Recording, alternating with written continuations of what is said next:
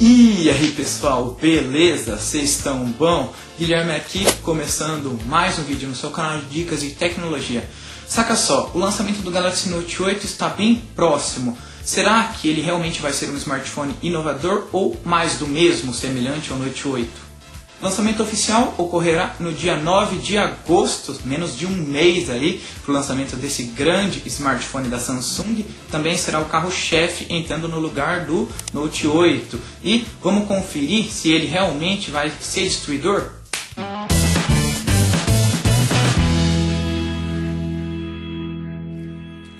A linha Samsung Galaxy Note, desde o seu lançamento lá em 2011, na sua primeira versão, sempre foi considerada a mais poderosa de todas, focada em desempenho, velocidade e produtividade. Porém, de alguns anos para cá, isso vem mudando e ela se assemelha muito, sendo muito parecida às outras versões que seriam menos poderosas, como por exemplo a Samsung Galaxy S. Antigamente, a linha Note era conhecida por ter as melhores features e também se destacar, apresentando várias vantagens dos seus outros modelos modelos, como por exemplo uma tela maior, câmera e bateria mais poderosas, a caneta S Pen, que tirando o tamanho da tela, essa também era o principal destaque dessa linha. E como eu estava dizendo, de uns anos para cá, essa linha não se difere muito das outras, como por exemplo o Galaxy Note 8, comparado com o Samsung Galaxy S8 Plus. Vemos que não tem tanta diferença igual antigamente. Até no tamanho da tela, que era um dos seus principais destaques, hoje a proporção é mais ou menos parecida. O Note ganha um pouquinho aí, tem algumas tecnologias um pouco mais avançadas, a caneta S Pen mais inteligente também e a câmera dupla, mas tirando isso é mais do mesmo. Devemos levar em conta também que as primeiras tecnologias, as primeiras features surgem primeiro no Galaxy Note 1 para depois passarem para as outras linhas, como a Galaxy S. E eu acredito que ele não será um smartphone inovador, como muitos dizem aí, porém ele será superior do que o Galaxy S9 e S9 Plus. É o mínimo esperado.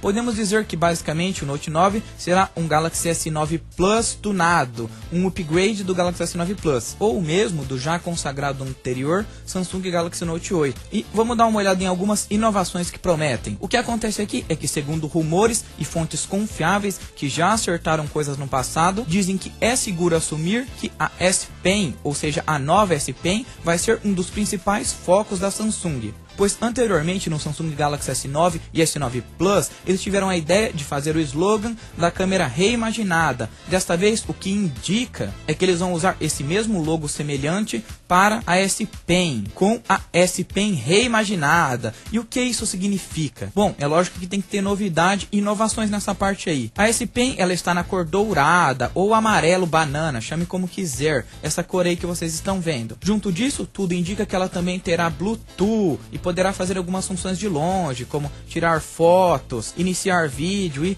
por aí vai. Semelhante àqueles controles Bluetooth que temos hoje em dia.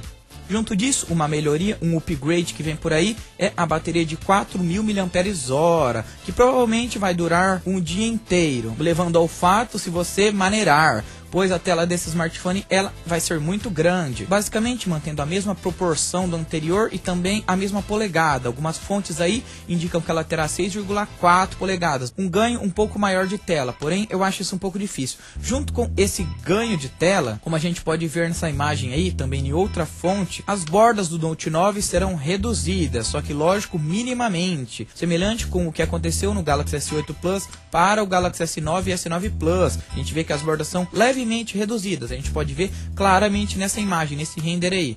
Em questão de design, não vai mudar muita coisa não. Ele já está num design legal, bonito. Ele não vai vir com aquele Note que vem no iPhone X e outros smartphones aí. Porém, o design vai se manter parecido aí. Lógico que com algumas novidades, como a gente pode ver aí, que o sensor de impressões digitais vai passar também um pouquinho mais para baixo, ficando mais centralizado no aparelho, facilitando o acesso. E se você, assim como eu, esperava o leitor de impressões digitais embaixo da tela, pode ir tirando o cavalinho da chuva, pois dessa vez não. Talvez vejamos isso em breve em algumas gerações futuras. Olhando nessa imagem desse cartaz, desse pôster promocional que vazou no dia 12 de julho, reforça ainda mais essa ideia. Desta vez, agora também foi mudado o design da caneta S Pen. No Galaxy Note 8 ela era mais arredondada. Desta vez temos um design mais elegante, arrojado e também dando um foco diferente na cor. A caneta também continuará sendo a prova d'água. Ele vai continuar com a famosa câmera dupla, né, que teve na versão anterior do Note 8 e não vai passar muito disso não. Algumas fontes, até que eu acho isso muito exagerado,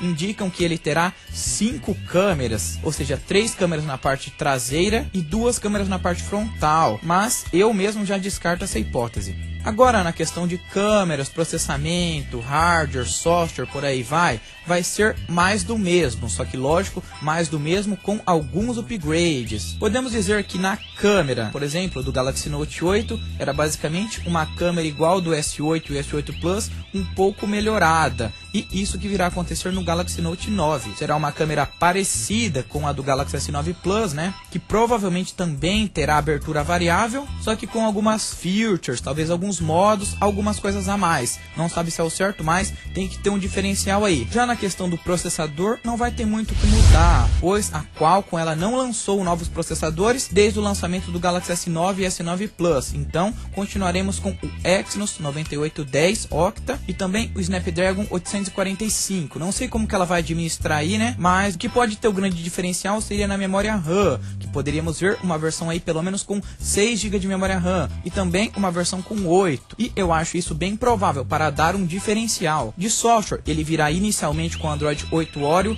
porém será atualizado para o Android P, é lógico. Ele continuará com resistência IP68 contra água e poeira, tanto no smartphone quanto na caneta S Pen. Tela Gorilla Glass 5, provavelmente, talvez vemos um 6 aí, mas acho difícil. Em armazenamento, provavelmente teremos versões diferentes aí, desde 64, 128 até 256 GB, dependendo do mercado. Também expansível com cartão microSD e continuando com todas aquelas features que conhecemos. Então é basicamente isso mesmo, não vai dar tanta mudança, não vai ser um smartphone, digamos que inovador, é lógico que ele vai ter que inovar em algumas partes para poder se manter nesse mercado. Porém, ele vai ser basicamente um Galaxy Note 8 vitaminado, um Galaxy Note 8 mais poderoso aí. Mas então é isso que eu queria mostrar para vocês hoje, pessoal. Eu espero que tenham gostado desse vídeo. Não se esqueça de avaliar, se possível comentar marca o sininho para receber as próximas notificações, dois vídeos ou mais por semana do mundo da tecnologia. Então é isso, nos vemos em um próximo vídeo. Abraços, até a próxima, valeu e fui!